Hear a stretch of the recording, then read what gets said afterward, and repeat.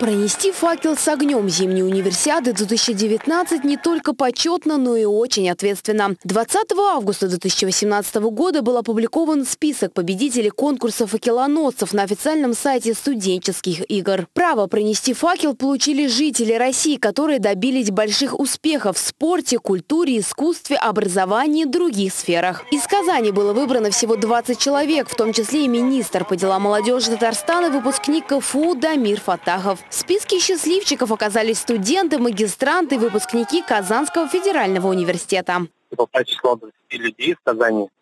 У меня большая гордость и ответственность, что именно меня выбрали одним из тех людей, кто принесет огонь универсиады по улицам нашей Казани. Любое студенческое мероприятие для меня важно, а именно студенческая универсиада – это одно из таких массовых глобальных мероприятие в 2012 году. Я когда вообще увидел даже заявку, подумал, было бы здорово, потому что я был в километром эстафеты огня универсиады, которая у нас проходила в Казани, а бежал я отрезок в родном городе в Менделеевске. Ответственно на 100%, потому что нас всего 20 человек. Ведущая «Универ ТВ» выпускница Казанского университета Гульфия Мутугулина тоже получила приглашение принести символ универсиады по улицам Казани. Эстафета огня зимней универсиады 2019 начнется 20 сентября. 10 ноября огонь прибудет в Казани из Архангельска. Старт будет дан возле Дворца земледельцев. Финишной точкой станет главное здание Казанского федерального университета. Всего участие примут более 600 факелоносцев из 30 российских городов. В